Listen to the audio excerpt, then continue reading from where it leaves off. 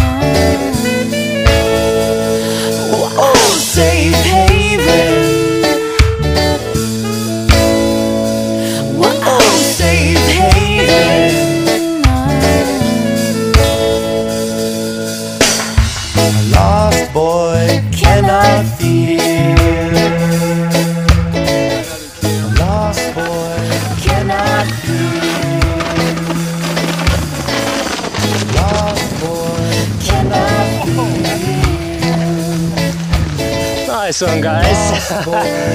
oh. So how was that? Nice one. Would you do that again? Yes, definitely. Go ahead, go ahead and give a big high five to your favorite instructor. Hey, Mike. Nice. So let me take one more picture of you two.